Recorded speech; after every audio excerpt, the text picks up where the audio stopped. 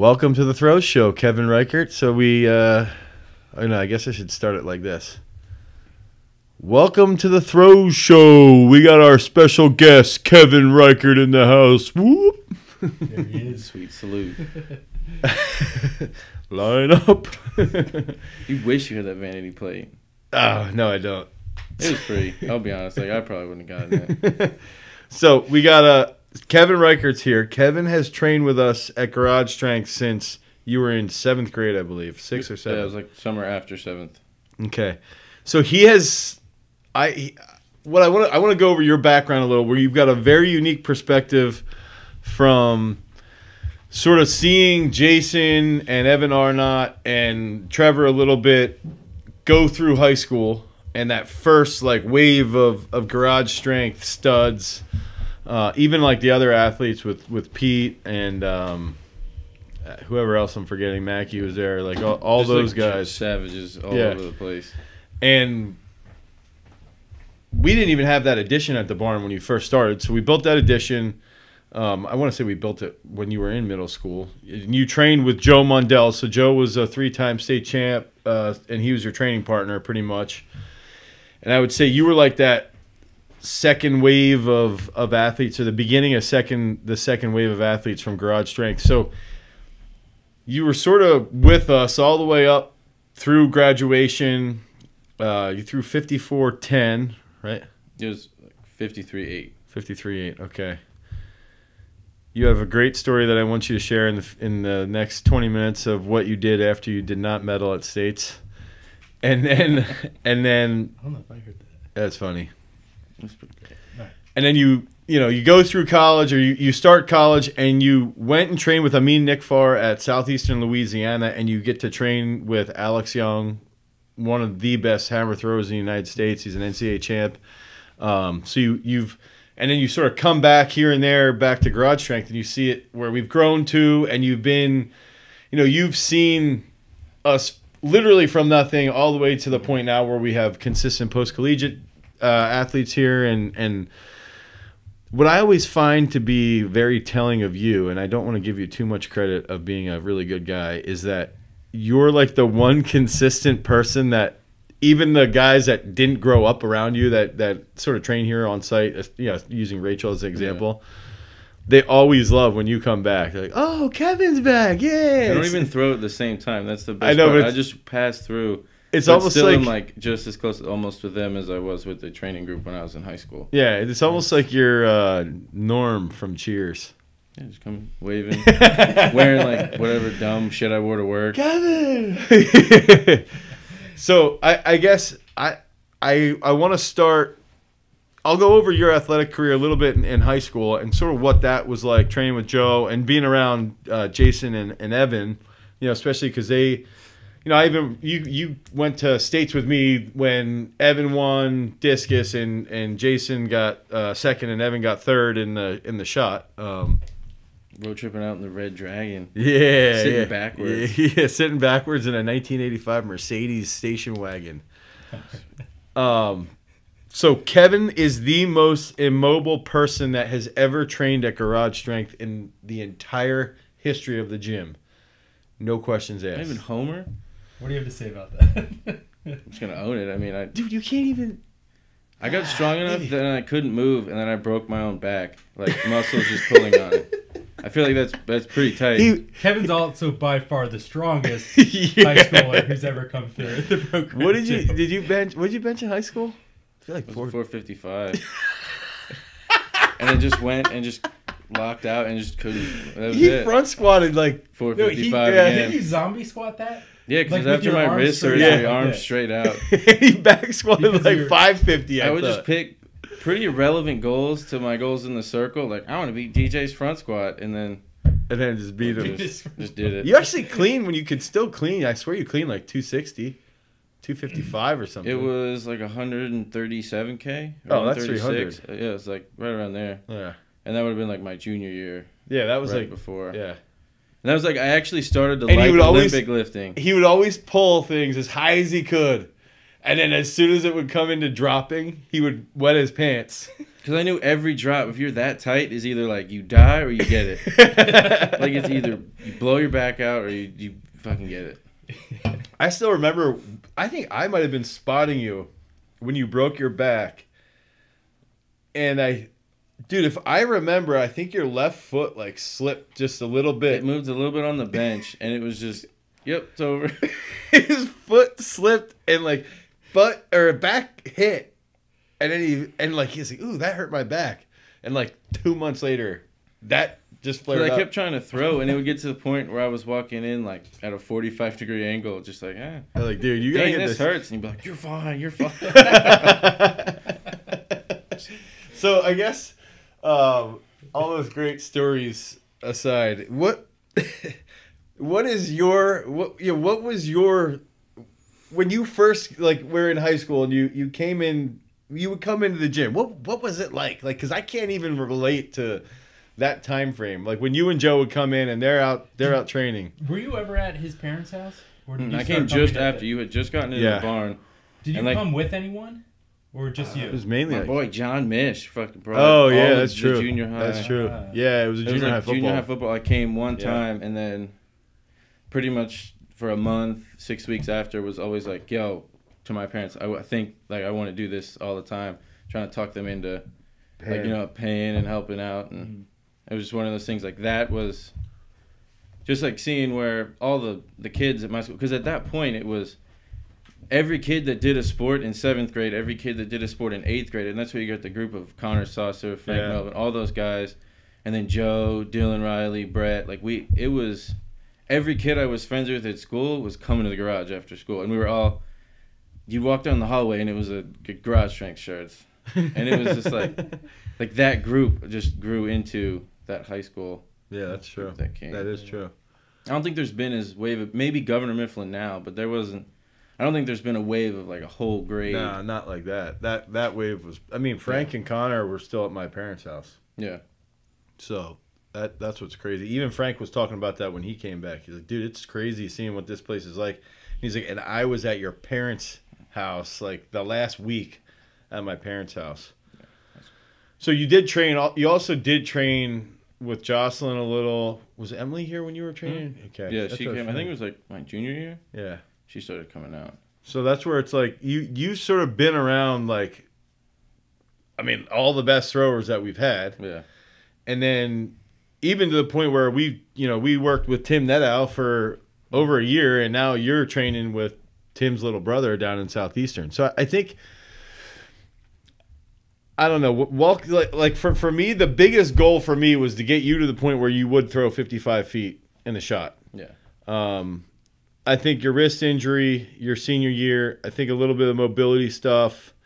I think you, you should have thrown 55 feet for sure. Um, but I do blame that mainly on, on your wrist. I think and- one thing that was a testament to the training was that I I was approaching like just over fifty feet. Then I had like the back stuff, and then I was approaching like you got me to throw almost fifty five like three times separately. Yeah, yeah. We're like yeah. pretty much rebuilding from this is drastically different. I need to.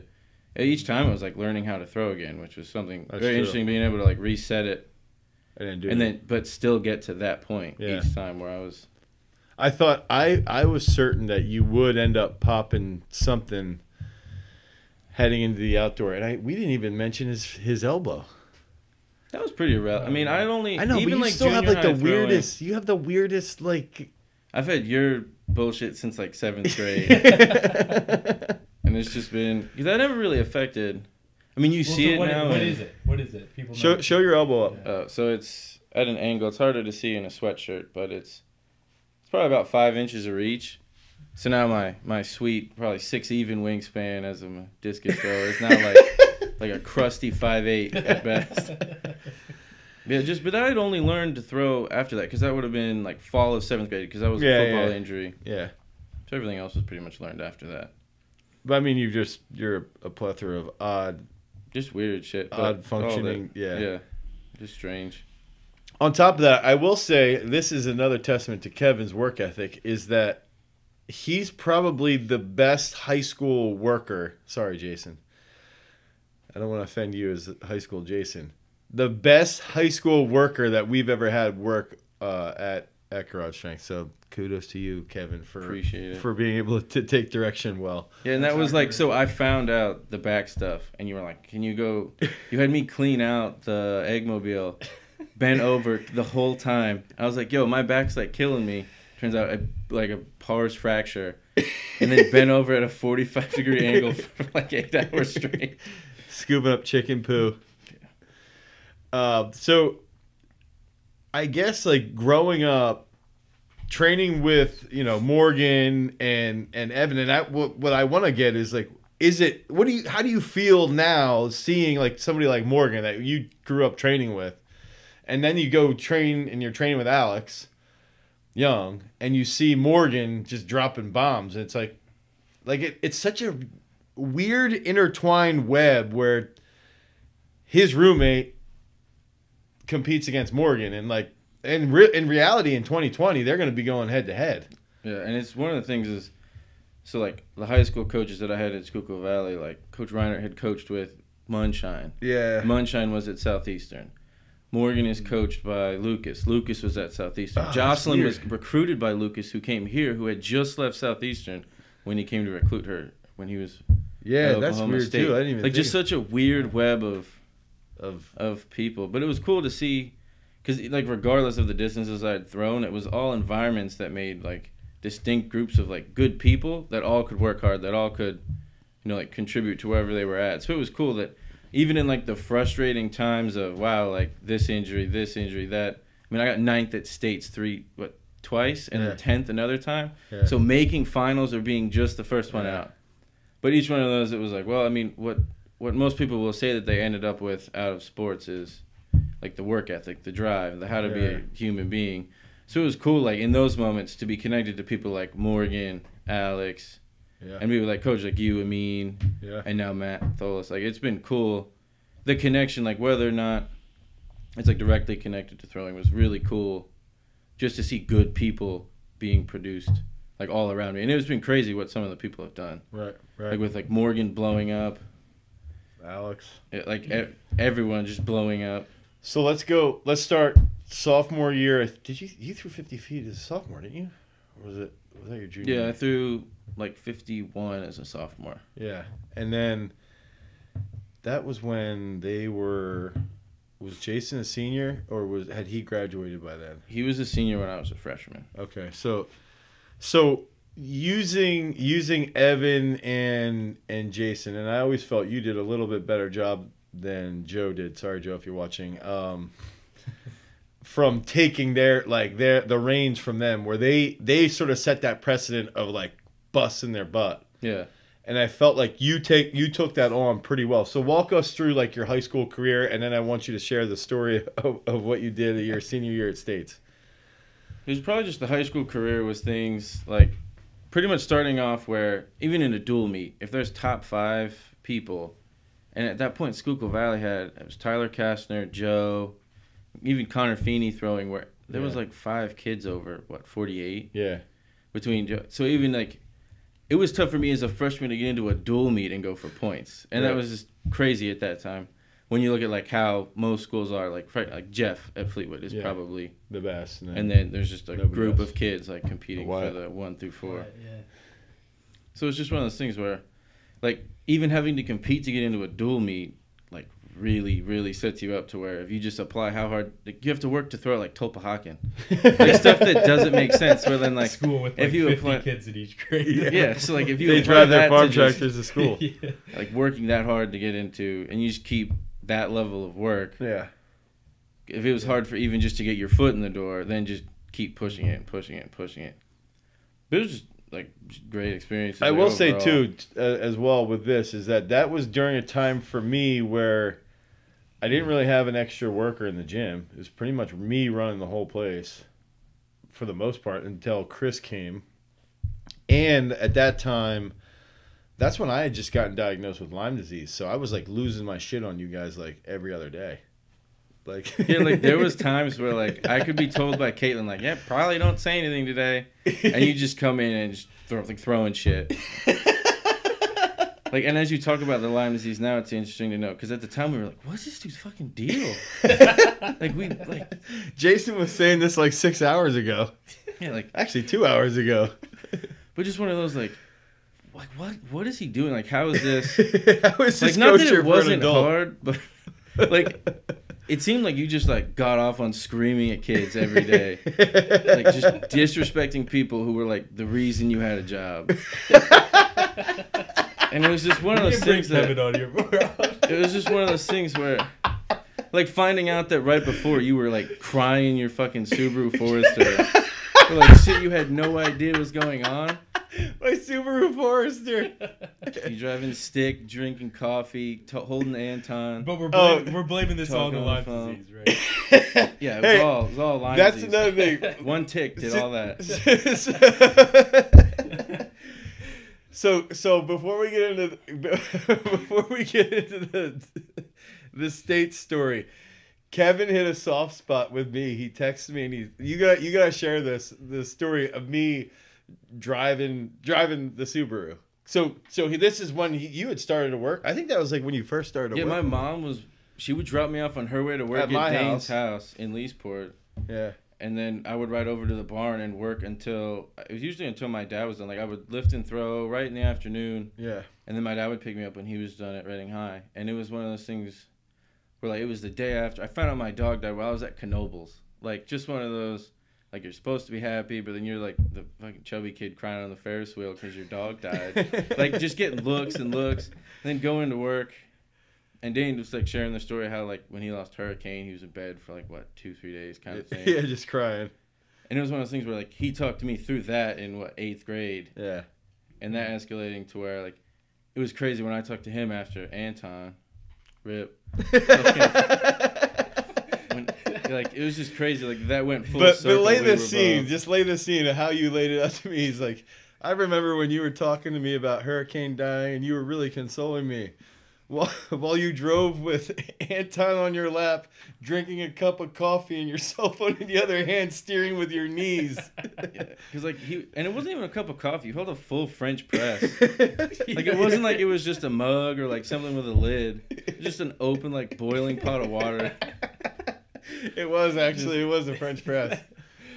Just, yeah. And driving stick. Like it wasn't even an automatic. okay, so you go you go into states and the whole goal was for you to medal. And again, that was that was double A at that point was stacked. Um you get ninth place, not by much either. I think it was pretty tight. Uh Yeah, because I think it I was Did you throw because Evan Blair is a junior. He was Yeah. like he was still learning how to compete. Like his senior year, like he competed well. Yeah. But as a junior, I think in the shot, like he was just not there, like at that mental stage, He fell out to where he fell out. That was the only reason that I would have been like tenth mm-hmm. again. Yeah. But then he fell out, so I was like, oh, like I gotta put it out there. Yeah. But I was one of those kids for whatever reason. I always felt great at districts. Like PRs were flying at districts, trying to beat Jake Garinger, getting that silver in the downpour. yeah. But then just stuff where like states, I never felt. I don't know if it was a mental thing or a Maybe just a little probably a little. Yeah, Yeah. I wasn't sure, but What It's do just one of those things. At, at, at states. I was like 52, Okay. 10. Yeah, I Something thought like it was that. pretty decent. Yeah, like it That- was all right, That's, but that's a decent mark for like. I mean, unfortunately, that that Yeah. got ninth. Like that's Well, dude, the year he got, the year Kuhn got second, 56, like, nine was sixth place or something. It was, it mm-hmm. was like, that's, that's it was the top five or six double A guys would have won triple A. yeah. Yeah, no, fourth place would have won AAA by a foot and a half. And then, and then Geist did. Then I think Geist came in as a freshman the next year. dude, year. and that was a crazy story. Like indoor states, and once again, I was ninth. So first place is Jordan Oh, Geist yeah. dropping bombs. So then making it into finals, I followed Jordan Geist Yeah. as like. So it was like everyone going nuts, and then everyone like going to get drinks and like using the bathroom. It was so fucking terrible. Like you could feel the air like leave the room when I would go in the circle. And it was just one of those things was like that to just follow. from you displacing the air, or I- was dude, it was- I don't know if it was how I walked up. Some like everyone was just like getting their phones out, like you probably like a laptop, just nobody watching. so tell us a story about about when you you get you don't medal, and I think you even came up to me and you're like, "I'm throwing my shoes in the trash," and I, dude, I I, re- I was very upset that you did not medal. Like I, I might have even cried like a baby because that's like what I would do. Yeah. Um, and I I remember being like, dude, I I, I just wanted you to medal, and you're like, I'm throwing my like you you said something. I'm like, nah, he's not gonna do that. And then the next day, it was either you or your dad sent me a picture. I took his- a picture of it and I put it on my Instagram. Like that was my, like I didn't post a throwing video. I didn't still post have a that so we podium can put picture. that we can cut that into the Yeah, I'll I, send it I to you. remember. I do remember seeing that. Because it's one of those things, and I got lucky. I went to an Adidas school after that. I threw away a pair of Nikes, and I was like, I'm never wearing these again. So it, like worked out. I didn't have to go back on my word. but it was just one of those things where I was just that like, you know what, like fresh start. It wasn't like I was done. It wasn't I was throwing in the towel. It was a like clean slate. I'm done. Like yeah, yeah. This is not how college is gonna go. Dude, and I think that's what's cool is like like I, w- I was watching the promo from from last year's throws uh throwing the throwing the snow. Mhm. Dude, he was moving Oh well. yeah. Oh yeah. Like, well, you hit threw a- 15, You hit a didn't PR you? at that meet, didn't you? I you- threw it was like 1408. I PR'd by Okay. like half a meter because part of what ended up happening with like the continuation of the wrist injury was that there was no actual like lever to push off of. So like as a credit to me, like I my throw got a lot better. Yeah, way better. But then the more I put on it, the more I blew my hand out. Like right when I would get to release the throw, it would all give out. So Mhm. like I would get faster through the circle, be moving better, be stronger, and still like the same distance but more toll in my hand Yeah. because I just couldn't put more into it. Yeah. I just remember seeing you and I think you even beat Joe. In that meet you might have. I'm not sure because he was he at that. I didn't remember because he but I was at think- the I one that was that- in the dark, and I- I was at the one that was. I think your P Oh. I think that that beat what he had marked that in college. I think Oh, it was that might have close, been yeah. what it was, Yeah. And that's when I got mad. That's when I just was mad at Joe. I'm like, come on. Well, so tell. Why don't you tell us a little bit about like? So right now, you're at southeastern Louisiana. Yeah. And you have kind of, like, you've had this one thing I wanted to talk to you about is how you've had, like, you've been through like a number of different throwing systems, Mm. and you've been with us at Garage Strength Throws U, and then you were with Amin, and now. Which um, means a two time Olympian. Yeah. Right. Yeah, It's and it was just like the odds of him calling you and saying, "Do you have anyone who'd be willing to go to Louisiana?" and me just going like, "Yeah." Yeah. Like we're just crazy. Like everything that kind of stemmed from like my like coaching lineage was just crazy. Like And if Like, anybody doesn't but know, also- Amin is now the coach, the throws coach at Stanford. Mhm. And he was recruiting Jacob Lemon hard. Yeah. He called me a few times to discuss. yeah. Southeastern's like a weird like jumping stone for like Munshine went to Princeton, I believe. Yeah. Then it was Well, McKay I went forget to who it was. Then Oklahoma McKay went to Oak-. Amin out at Stanford. Like Yeah. it's just been. And I'm sure Matt will end up somewhere else using like his because his training has been. I've gotten different things out of each one that I've, and each things have things I've really really liked. Yeah. But it's been interesting how each one of them has played into like who I am now and how each throws coaches stuff has carried over into the next one. Like when I ended up with Amin, if something bad would happen at practice, I would look at him like glance because I was waiting for him to lose his shit. I couldn't believe that he was like that genuinely like laid back because he's like your standard Dude, California, yeah, yeah, yeah. like laid back, like just happy to be there. The- So you're like, saying that you would look at him to lose his shit because you're used to me losing my shit. Because like something like like if the chalk got knocked over, a routine issue would just be like prowler out for everybody, like crazy. like, like you got to go home, bud. Like Dude, I think the the most, I think the most pissed off I ever saw Amin was um, I said I said we were out to eat this past year at USA's, and I said I think that was the year Ehsan trained with um, Veston, and he was like puts his head up. He's like, Ehsan never trained with with Veston, and I was like, yeah, he did. Didn't he train with him? And like I named the year, and he's like. He never trained with fucking Veston, and I, and I confused him with like uh, who's a I think it was an Egyptian, might have been like Omar El El Ghazali Yeah. trained with Veston Yeah. for like a year, and like in my head, and I was drinking, I had switched them around, and I was like, no, dude, I'm pretty sure it was it was a Ehsan or Ehsan did had had trained with him, and he's like, no, he didn't. And he, I was like, okay, I don't think he did. Because as soon as he got mad, I'm like, dude, he's never pissed about anything.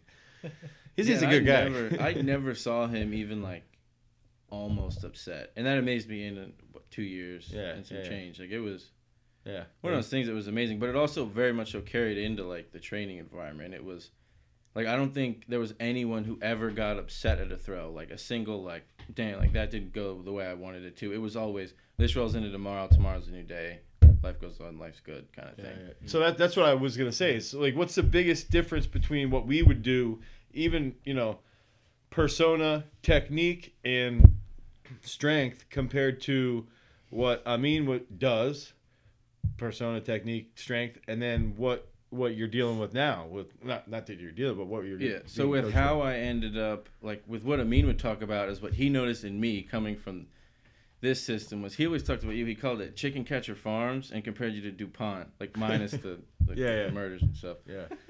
But it was just one of those things where Chicken he catcher. compared because he always said that chicken on the logo, and he would always say stuff like, "Yo, did you cultivate your power this morning?" like stuff like that. Where it was always just yeah, it was just one of those things where I think the like here I felt stronger, but with Amin I think I got stronger. Yeah.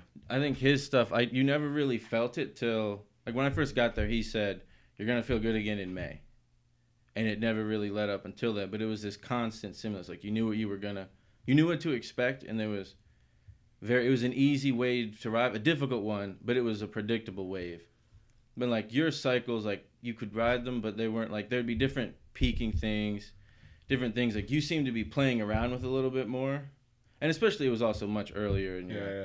like I think right now it probably is different because you were playing around with different things. Like for instance, I think for two months I did more of that like Bondarchuk style stuff Yeah. that you had talked about with just moving lighter weight fast Just to see what would for a while, and then different things mm. with going heavy. I mean, because I feel like I was one of those. I always wanted to go as heavy as possible. So, and I didn't have as much fun with the Bondarchuk because I think I enjoyed lifting just as much as throwing because Yeah, it was yeah. fun. It came a little more natural. Yeah. But then carrying it through to the Amin stuff was coming in like strong, but not really being able to move well. He had uh, the strength coaches take me for a day. We did a mat day where it was like gymnastics type stuff with like tumbling and like all different types of like just movements that you wouldn't normally ever see.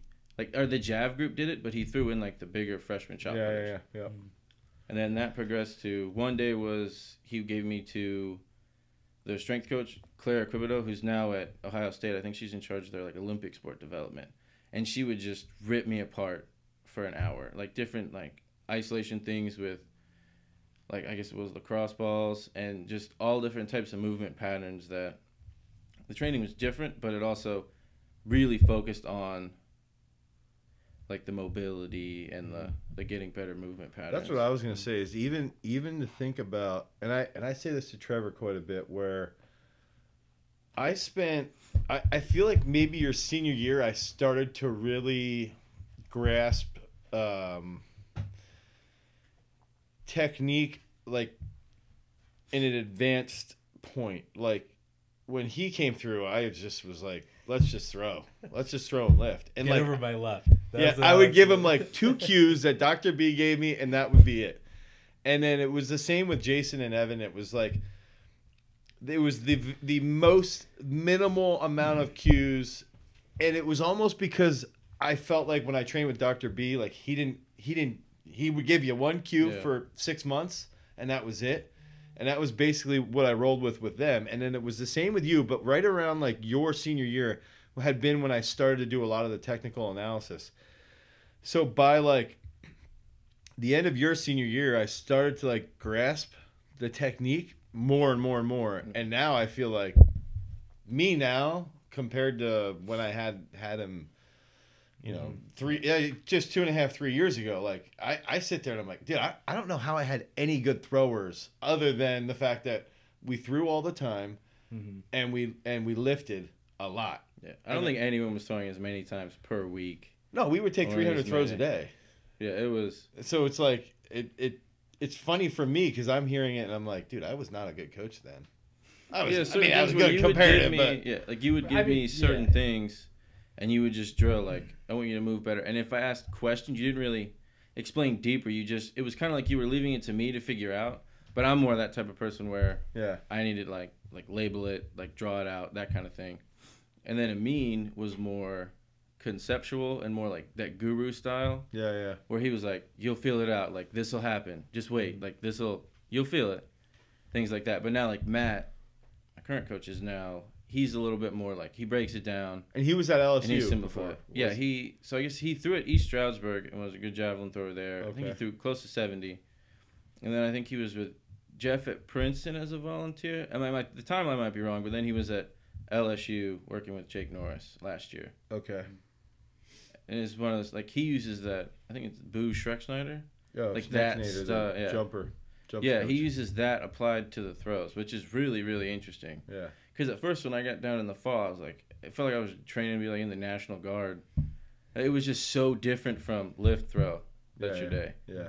It was jumps, hurdle stuff, sprinting stuff. Like each day, there's probably six areas you'll touch, and then there's like just pre-programmed cycles that he manipulates throughout the.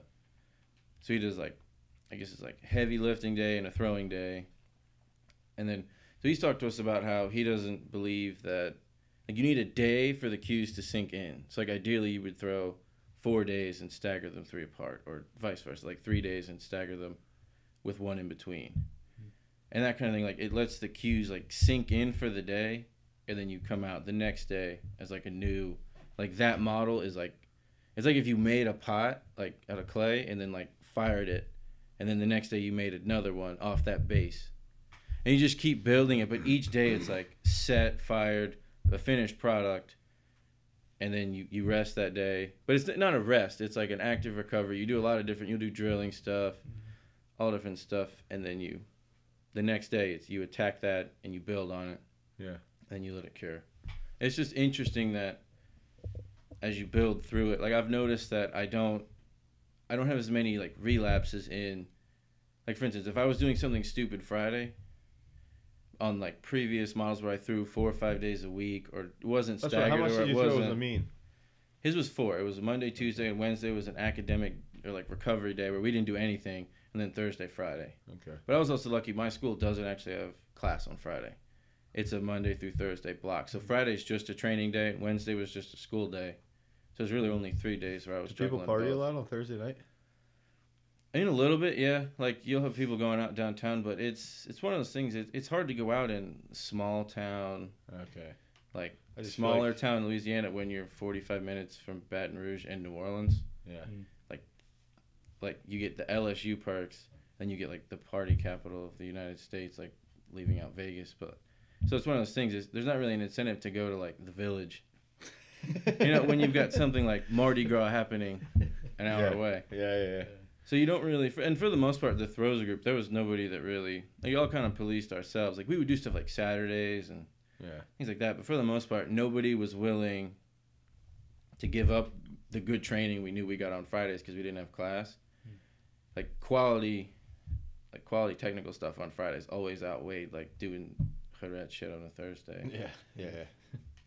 So you would say Amin was four days a week. Now you're about three days a week with throwing. And just through feel- it's four days because he floats it just because he wants more time, especially for the people that.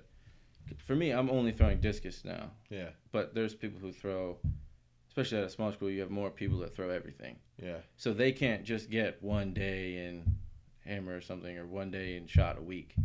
To rotate through like four events, they end up like it's a better model with four for how many events these people are throwing. right. But for me, it's usually four just because everyone else does it. But like while I'm home, he's talked to me about three Okay. and following more of that. So what would you say? You know, take take you know coming home and training around Sam, around Rachel, um, even around the weightlifters who are world class, and then training with Alex Young. What would you say are like the biggest takeaways, and being around Amin too, and and Ehsan as well? Like, Like, Ehsan lived in my apartment for I think it was six weeks. yeah. So what what would just be things like that where it was really easy to be like, I don't know, like what the fuck am I doing being around? you know, like I was like it was all right in high school. Stop Had a little bit of a chip on my shoulder, kind of thing, but also, like, how the fuck did I end up around? When you look at like knowing David Lucas in high school, now another NCAA champ, Yeah. being friends with Johnny Jackson, yeah. like personally knowing and having hung out, not really hung out as much with David as much, but talked to them a lot. yeah. Like hanging out with Johnny Jackson a lot. Yeah. Alex, like the past three, the common denominator between the last three NCAA weight champions is me. And it's crazy to think that, like, just having being exposed to that many just savages in what they do, Yeah. and it's just crazy. Like a lot of times I think of, like, just think of it like introspective, like wow, like this is insane. The, So like, that's why we need exposure to I've get him to come back, so that when he comes back, now all of a sudden the whole group is just going to be. yeah, right. Yeah, for sure. It's It's just crazy because even if you just soak in like one percent of each person you bump into, oh, yeah. like just seeing like the amount of people that I've been exposed to for what I always say like, I didn't fucking deserve. I had no, I don't even know how certain opportunities arose, but just But just what would you say? stuff. What would you say with being around Alex? Like, what what's because I've I've always envisioned him being like like to me he's one of those guys that I would want in my training group. Like he's he's Mm. like the dude who who doesn't he's appreciative of everything. And I've I think I've Mm. only, I only ever talked to the Yeah. guy once, maybe, and and but just seeing him and judging from afar Yeah, the way he conducts himself, it's always like business. He's a really good dude. He just seems like he busts his butt all the time, and he he embraces like the sport. He understands the, the, the sport and wants wants to be the best that he could possibly be. And and I could be wrong, but that's sort of what my take is of him. So what would what would you say like is is like some of the biggest takeaways from being around a guy who is an NCAA champ? like being around most of the people that I've been around were they saw what they wanted and they got it and they attacked it. And Alex is like a prime example of that. He was the first one there, the last one to go home. Like the stereotype, just Yeah. he's always there, and just certain things where he was he's such a student of sport. Yeah. Like for instance, he noticed that I think it was his senior year or or sophomore year, one in, somewhere in between there. He had issues in competition, like with his headspace. Like he was not think he now has a master's degree in like psychophysiology, Okay. and he did a thesis on self talk. Like things that he struggles with, he learns every single thing there is to know about that. yeah, yeah. And it was cool just being able to come back after training and pick his brain and Yeah, talk talk about where I was at in throwing, where I was at in life, and having him bounce stuff off. You know, it was just such a good opportunity to both talk and be friends, Yeah. but just to get to train with. Not, I think it would have been cooler if I also threw hammer, but even just he still threw over 18 meters in the shot, Right. and his discus was good, Yeah. and it was just one of the it's nuts to see at our conference meet. He won all three. It was just crazy to see how each thing he did, he did well, but it wasn't just freak athleticism shining through. It was also he knew every like his room is like Well- periodization textbooks and like. Anatomy and physiology books, and he's just learning everything he can from like about everything. and he it's interesting too because you you you're being you're around him and he he was also with McKay and then with Amin so it's interesting to see his ability to switch Mhm. from one system to another and succeed in both You Yeah. know, he was he was, he was- good with Lucas I but he think was before he was with whoever was at Gardner Webb before something Fryman. Okay. Oh, oh Andy. Fryman Yeah. oh really So he started off college at Gardner Webb. Oh, I didn't then even know that. moved to Southeastern with Lucas, okay hmm. and then had Amin for his Okay. because he was there. He had like a five year career. yeah So it was just I think it was two or one at Gardner Webb, and, and, then then two with McKay and two with Amin yeah. Okay. Yeah, that's pretty. That's interesting. So, I, I dude, I think he could end up being one of the best. I think I think he has the capability of being one of the best hammer throwers ever from the U.S. Yeah, 'Cause and he's just he's wired. He and he's focused and and you can he competes well. I think he's got a pretty good understanding of the technique. his sixth throw is always something that everyone waits for Yeah. because Hmm. his last I think throw at did it at NCAAs NCAAs, when yeah. he won Yeah. blew up. Yep. So what's his the- last throw is he's such a gamer on that last one, and it's just it's awesome to see. What have you uh, What have you picked his brain about concerning like like mental approach to competitions and stuff like that? Well, so last year I realized that I had been training two and a half years with a wrist that was never actually going to push a shot far. That was one of those things that really kind of takes the wind out of your sails because I had an appoint- I had a meet at LSU, and at the end of the meet, my hand had kind of like curled up, and I had it was so much swelling that it I guess compressed nerves, and then they sent me for X-rays to see how like the plates and stuff had been doing in my wrist from the surgery I had in high school, and there was a gap where there was supposed to be bone. Like my body just absorbed my scaphoid, like just to, took the calcium back because I lost blood supply to the bone. So they were like, yeah, I mean the only option is like literally a 3D printed bone or a bone graft, and the only people who can do it are at, like the Mayo Clinic at this point. There's one doctor who does that, and even if you choose that route of rebuilding, probably until your senior year of college, it still can't handle the stress of, of a shot put, especially like a college weight. Mm. So it's one of those things. Looking at myself from the outside in, it seeing yourself as I don't have a big wingspan. I'm not mobile. I don't exactly scream discus thrower. How do I take everything that I've put into and just keep rolling, keep moving forward into well new event at a very late stage of the game. Mm. So picking his brain, because there was a point where I was like, "Is this what I should do? Yeah. Is this worth what I'm going to put into it?" And him talking me through like, and it wasn't always. It was never the answers I needed to hear. It was, it was always the answers that someone who can look objectively at something would Yeah. give. So just him talking me through that period. Yeah, it wasn't always like should always throw. Track's great. Track's Yeah, the yeah. best. It was like look at what you want from life. Look at Yeah. what Yeah. are you still having fun throwing? And then also it was tough transitioning from my sophomore year. I got an email in the summer that Coach Brady had left, and he's now the associate head coach, and he had two NCAA champions at Texas A&M last year.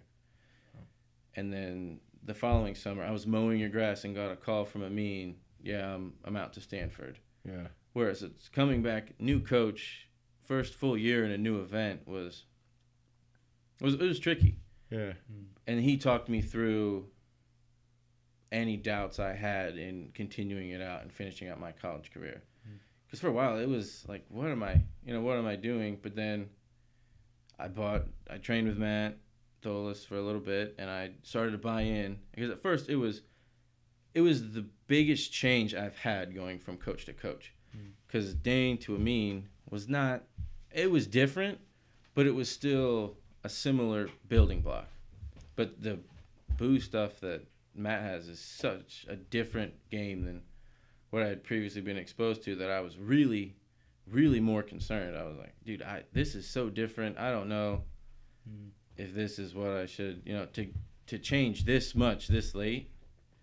But then it just ended up where I kept talking to Alex, kept talking to different people, and ended up to where I found and focused on what I originally liked about track. Going back to the eighth grade kid that said, I don't want to play football anymore. I love track. This is the best thing. Yeah. Yeah. This is where my future should go. One of those things where he talked me back to that point, and then I just, I've had so much fun. I think more fun training this semester than I've had in a in a while. That's Mm. good. Yeah. Just building back into like, what do you What are you doing like for? at the end of the day? Like you just put out the video talking about like when should when should somebody retire? when should somebody retire, and it was just one of those things like watching that. I was like, wow, like I really went through yeah. a lot of what you were saying at a point where I really had no business thinking that. I was 19, 20. It was cool, like being able to get talked back to that point and then just spring forward from that same seventh grade, eighth grade excitement. Yeah, that's good. So it was, cool to, to kind of come full circle. So thanks, Yeah. Alex. Appreciate you. All right, I think uh, I think I want to ask, ask the uh, start the red hot minute. You gonna, I you wa- gonna start us off oh yeah, I guess I gotta go first. Mine aren't mine aren't gonna be as good as yours because I want to tell the stories behind your I, question. well, I know. Yeah, I'm just. We got to do a, get through it first, then we can go back and maybe touch those. I think I have a, a, a decent first one. American House or the Village? The vi- Every town needs a village. No, doubt. no questions asked. Leesport Farmers Market or the Reading Farmers Market? Like fairgrounds? The fairgrounds. Depends. Like, is it Well, I mean, on a Wednesday, obviously Leesport. then after that, like they they offer different things. But I'm gonna have to go Wednesday, Wednesday at least for the pretzel logs. I'm not getting groceries yet. I'm, I'm kidding. I want I want best food. Pretzel logs. They're right inside the door. That's my spot. Rage Against the Machine or Tool. Rage Against the Machine. Okay. Uh, one more. First gen Dodge Ram, Power Ram, or second gen? Cummins. Like that I've owned because. I, I owned one of not a Cummins the first time, but the red sled was missed. But that dually was pretty. yeah. We're gonna have to go. Probably first gen if it's a crew cab. Oh, nice. I can't sit in an extended cab. I don't fit in the back seat. It's over. You need bench seats. That's what you need. Wonder what the red sled's doing right now. Uh, it's it, it was, it's scrap. That guy called me saying that you know your dad's name is on that that kind of thing. He's threatening to sue me after driving it home. He's like, you know, I can give this back to you, right? He called me up on the road. He's like, What? the oil pressure was all the way. I was like, yeah, I told you the gauge sucks. yeah. And then he was like, you didn't do this, you didn't do that. I was like, I did that.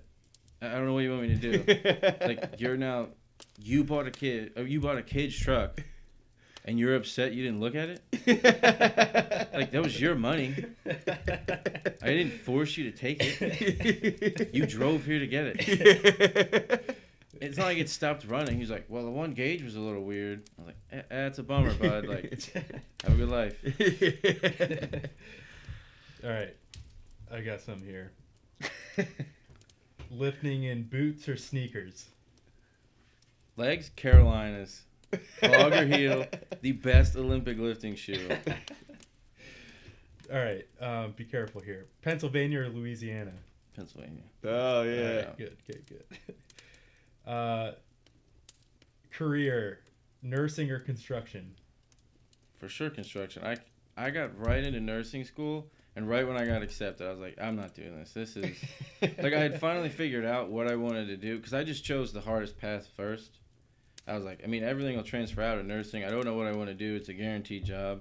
But now that I'm in more like business stuff, I definitely could see myself applying it to construction type stuff. I can't imagine. It's not that I couldn't deal with like open cuts. It was the compassion part where I was like, dude, you need to get up. Like people just laying there, and it's part of what I've taken away from here. Like, like if somebody's on the floor, you're like, get up. Like, what are you doing? Like, Could you imagine that?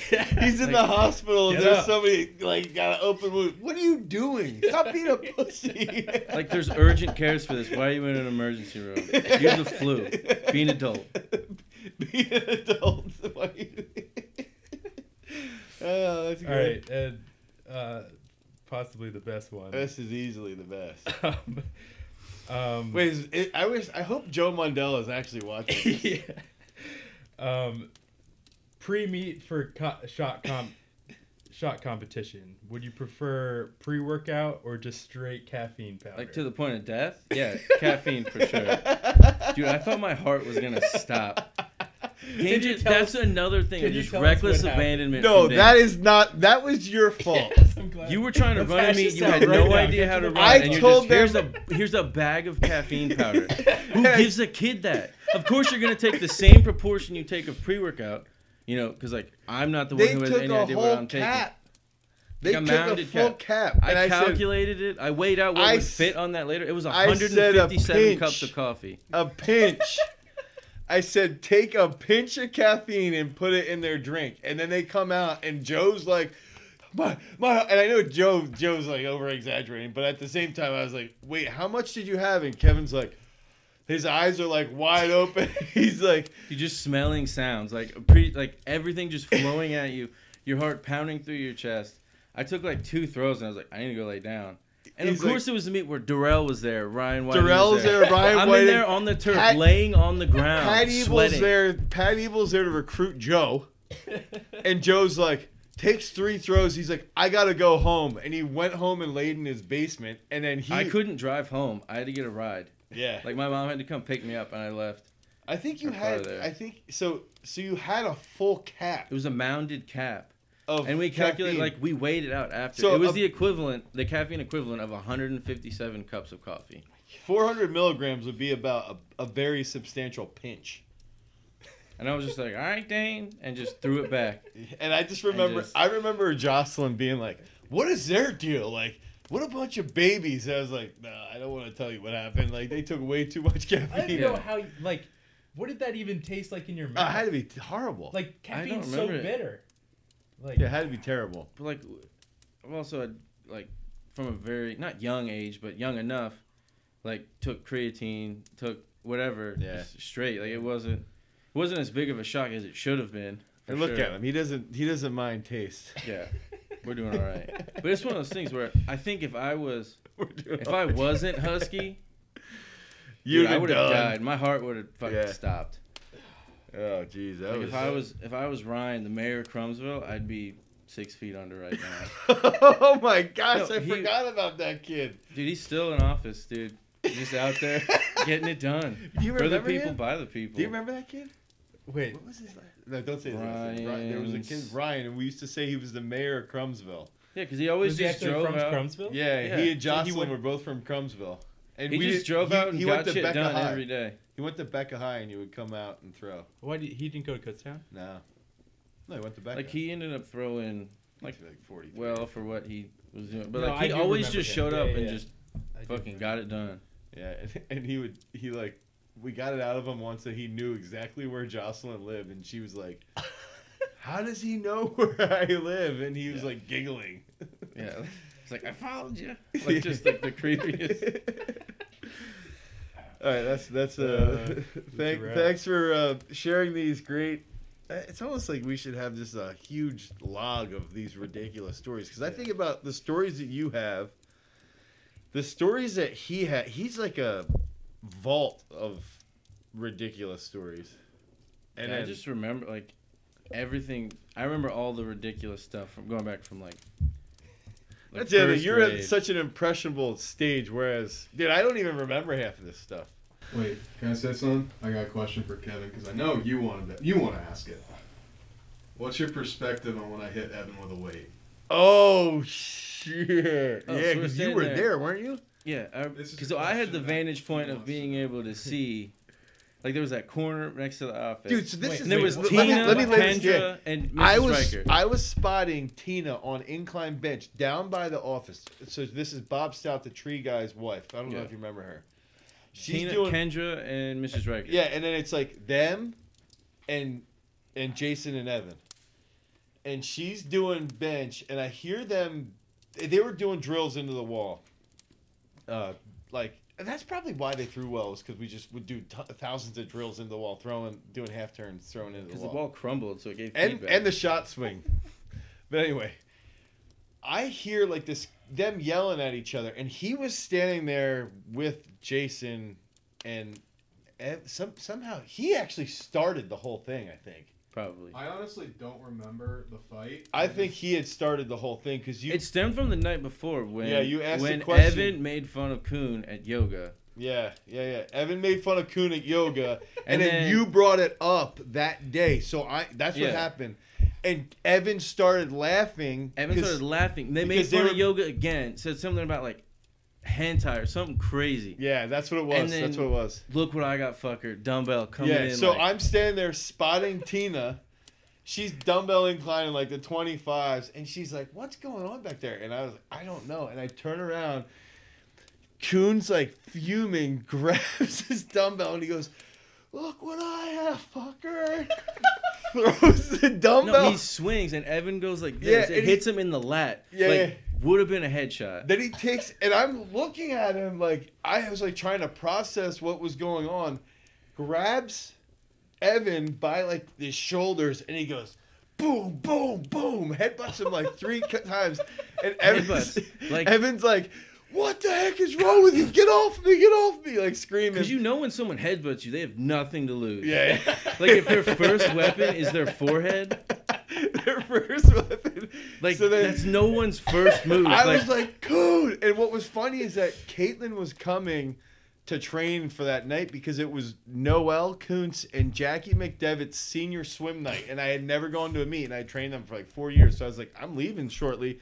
She comes in, and like as she comes in, He sprints out, slams the door open, and run runs. And then I had to go talk to him at his at his mom's house and be like, "Dude, what is going on?" And I get there, and he's thinking that he's gonna get arrested. But your Yeah. perspective, what what was? just standing there thinking like little did I know like had that like actually connected like knowing more about like watching different like fights and stuff like that like it had that had he not ducked he'd be like shooting porn from a wheelchair now it, had that gone through that would be like just instantly I think you would have had to just like give Brant back the barn like yeah we're going we're going somewhere. yeah we're I'm out sorry back to ISS or whatever. we're at, we're done. I've never done this. Yeah, but it was just so crazy seeing like just standing in the middle of the turf from your office or like the box that you used to have all your shit on, and then just watching. The best part was like Mrs. Reichart's reaction and like Watching their Kendra two, just like two state champions just get into a brawl. That's what's crazy. is Think about it. He threw basically 60 feet, and Evan threw 195 11, yeah and they're just brawling about about about a yoga comment. yeah about just it had just built. Yeah, that's what it was. It was. it- I was so glad that not that I ever thought that Joe and I would get to that point, but like once we got past that timeline, I was so glad that that never we had down. not. Yeah, That you we weren't never really dumbbells. disagreed because I would for sure would have been the one throwing dumbbells. I like I was the coon in that. in that relationship. Yeah, Yeah. that's true. Isn't that a weird parallel? Yeah, no, that- Between, I think uh, him and Joe, me and Evan. I think it's identical. Dude, we even both had twelve valves. Like it was down to the car. that's true. Anyway, I didn't even yeah, think it was about that. weird. All right, so on that note, Kevin, thanks for being on the throw show. thanks. Peace.